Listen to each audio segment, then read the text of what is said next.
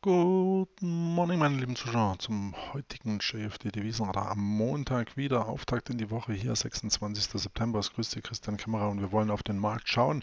Heute Wochenbeginn, alles noch ein Stück weit verhalten, bis auf die Yen-Pairs. Da gibt es schon ähm, ja, relativ starke Bewegung. Das Pfund wieder schwach, aber das soll heute gar nicht im Fokus stehen. Wir wollen uns nämlich hier einem Rohstoff zuwenden, der auch monetären Charakter besitzt, nämlich Silber der kleine Bruder vom Goldpreis. Und Silber ist auf jeden Fall ein Blick wert, wenn man sich mal hier den Chart betrachtet. Zunächst, bevor wir einsteigen in den Silberchart, will ich ganz kurz den großen Chart zum Silberpreis mal in den Fokus rücken. Dazu rufen wir uns einfach mal den Jahreschart hier auf den Schirm. Also Jahreschart in Anführungszeichen, den Monatschart auf äh, Mehrjahresbasis sozusagen. Und da sehen wir, ja gut, Silber hat hier knapp das Level von 50 Dollar verfehlt im April 2011 und seither hier eine starke Korrektur gefahren, die sich interessanterweise hier am Level um 14 Dollar stabilisierte zum Ende letzten Jahres, Anfang diesen Jahres dann natürlich ähnlich wie beim Goldpreis eine starke Aufwärtsbewegung hier erlebt hat. Ähm, Final Levels auf der Südseite wurden verfehlt. Technisch hätte es noch bis 11.30 etwa gehen können und selbst dann hätte der Silberpreis grundsätzlich eigentlich immer noch gutes ähm, Fahrwasser gehabt, um wieder nach oben aufzudrehen. Doch er hat es jetzt eben schon früher getan und insbesondere mit der Kerze hier vom April, interessanterweise April 2016, hier diese Ausbruchskerze und hier im April 2011 dieses ähm, Mehrjahreshoch, die Marke von, also Jahrzehnte auch viel mehr, die Marke von 50 Dollar wurde ja leider knapp verfehlt.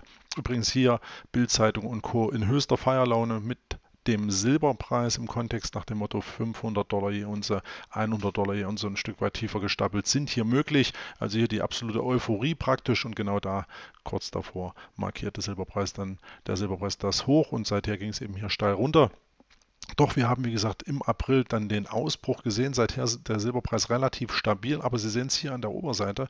21,45, 21,50 etwa. Hier 21,35, das war direkt Ho das Hoch vom März 2008 ähm, vor Ausbruch der Finanzmarktkrise, beziehungsweise nicht Ausbruch, sondern bevor sich das Ganze dann noch weiter hochschraubte.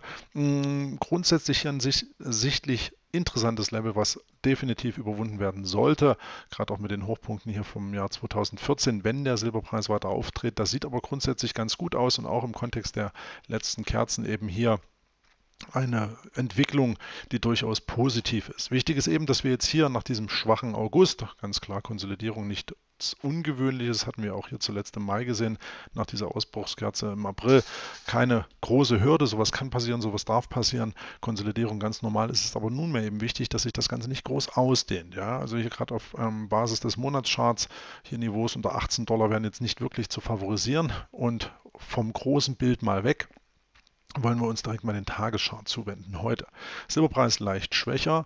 Wir haben auch hier schön ersichtlich im Prinzip immer noch einen intakten Abwärtstrend. Wenn wir das mal mit einer schrägen Trendlinie ein Stück weit symbolisieren bzw. visualisieren wollen, ähm, haben wir hier eine, Situation von fallenden Hochpunkten. Das ist hier sicherlich jetzt nicht unbedingt positiv, aber wir haben auch aufgrund dessen hier ein schönes Level inklusive dieser Widerstandslinie, welches wir als Buy-Trigger bezeichnen können auf Tagesbasis. Soll heißen, wenn der Silberpreis hier auf die Idee kommt, nach oben auszubrechen und hierbei haben wir es direkt mit der Round Number 20 Dollar je Unze zu tun, dann darf man davon ausgehen, wenn wir hier sprich 2013 insbesondere 2015 rund kann man sagen, das wäre dann auch hier 2011 vom 16.8., also noch ein paar Cent draufgelegt. 2015, wenn wir dieses Niveau hier nach oben aufbrechen, dann habe ich durchaus positive Signale im Silberpreis, die hier den Silberpreis dann weiter antreiben dürften. Ähm, beim Goldpreis haben wir es ja auch mit einer bullischen Flagge zu tun, die noch läuft auf Tages-Wochenbasis. Also hier auch alles ein Stück weit unter hm, gewisser Spannung. Sie können das Video zum Goldpreis gerne nochmal sehen, haben wir auf dem YouTube-Channel hinterlegt.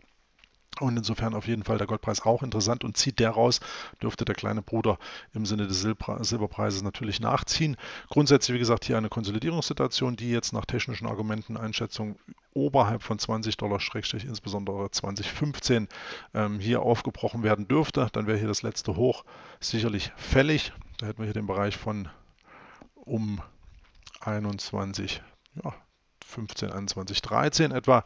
Und das Niveau dürfte dann auch ein Pullback-Level darstellen, um den Silberpreis dann weiter anzuheizen. Das ist wichtig, das Level auf der Oberseite im Fokus zu haben. Wir haben auch hier eine bullische Saisonalität. Überrascht nicht. zum Ende des Jahres. Sie sehen hier, im Oktober wird es noch ein bisschen holprig. Ja? Also hier September, Oktober ah, ist jetzt nicht wirklich der Bias, der hier nach oben zeigt. Das heißt also, die Konsolidierung kann sich durchaus noch ein Stück weit ausdehnen. Dabei gilt es darauf zu achten, das Level von 1850 im Fokus zu haben und gerade auf Monatsbasis sagte ich auch gerade hier das Level von 18 Dollar. Also wenn der Silberpreis hier signifikant runtergehen sollte, unter das Niveau von 18 Dollar, jetzt zoomen wir uns auch mal ein Stück raus. Ja, da haben wir hier so eine Knautschzone, will ich es mal fast sagen. Das wäre schon negativ. Wenn wir dieses Level hier unterschreiten und auch nach Fibonacci-Verhältnissen hätten wir dann hier das 50er Level unterschritten. 61er Niveau dürfte rasch rufen, könnte dann aber auch sicherlich noch tiefer gehen, wenn hier signifikant eben Preise unter 18 Dollar hier unser möglich wären. Bis dato wären das meines Erachtens alles Konsolidierungen, die hier den Silberpreis meines Erachtens hier als interessant erscheinen lassen, als günstige Kaufchance, sofern es eben hier nicht signifikant unter 18 Dollar geht. Und das kann man hier dann durchaus als Alternativszenario sehen, dass der Silberpreis eben dann hier doch eine Schwäche erfährt. Sehe ich aber wie gesagt deshalb Grau nicht als favorisiertes Szenario und insofern hier eher der Plan B. Hast gesagt, Plan A, der Ausbruch, wenn er dann irgendwann kommt. Konsolidierung kann sich noch hinziehen. Ja, das wäre jetzt hier dann sozusagen das ähm, Spiel auf Zeit. Bullische Setup bleibt trotzdem bestehen und dann Worst-Case-Szenario, wenn wir hier deutlich unter 18 Dollar gehen dann ist der Silberpreis sichtlich angeschlagen. Für den heutigen Tag haben wir noch ein ähm, bullisches FTSE-Vektorlogik-Pattern. Das bestätigt der Wochentag zwar nicht mit ja, 47% positive Schlusspreise, ist leicht negativ. Nicht so negativ wie Mittwoch und Donnerstag, das muss man ganz klar hervorheben. Das sind die schwächsten Tage. Dienstag hier mit 57% ganz klar stark, aber der Montag hier nicht wirklich so der bullische Tag. Dennoch haben wir heute hier ein starkes FTSE-Vektor-Logik-Pattern beim Silberpreis. Das Tief zwar schon hier mit, also das theoretisch technische Tief mit 19,69 Dollar hier schon leicht unterschritten. Ja, sind wir ein Stück weit tiefer, aber heute hier im Schnitt mit einer Trefferquote von 69 Prozent bei 147 Erscheinungen während der letzten 17 Jahre doch ein sehr, sehr positiver Bias, der den Silberpreis hier rein technisch um die Marke 20 äh, auf 20 Dollar hebt. Abzüglich der bisherigen ja, Tiefs könnte es auch hier dann schon bei 1985 Schluss sein. Aber grundsätzlich heute hier ein positives FTSE-Vektor-Logik-Pattern. Mal sehen, was der Silberpreis daraus macht. Wie gesagt, statistisch der Montag eher leicht schwächer. Dienstag könnte es dann wesentlich spannender werden. Warten wir mal ab, was passiert. Ich werde es beobachten. Hoffe, Sie kommen, hm, wie anfangs schon gesagt, gut in die Woche. Wenn Sie mögen, hören wir uns auf jeden Fall morgen wieder. Und wir haben die Woche auch noch das JFD Live Trading Event am Donnerstag mit Jörg. Seid ihr gespannt, schaut auf unsere Website unter Live-Events, Webinare. Da könnt ihr euch anmelden, kostenfrei. Wird sicherlich ein spannender, schöner Tag und wir wollen doch mal sehen, ob wir da was aus dem Markt schneiden können.